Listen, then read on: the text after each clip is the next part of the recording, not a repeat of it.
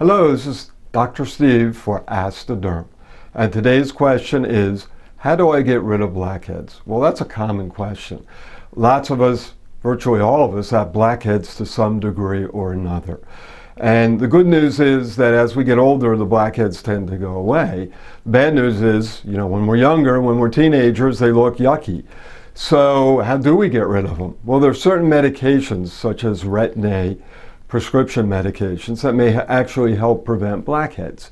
When you have blackheads, there are instruments that you can buy called comedone extractors, and you place these over the blackheads and you squish, gently squish, and that gorgeous black material will come streaming out of the pore and coat your face.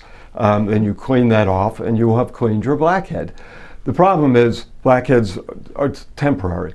The blackness will fill up, and then what you do is you re-squish your blackhead and you'll be cured temporarily. Again, this is Dr. Steve for Ask the Derm.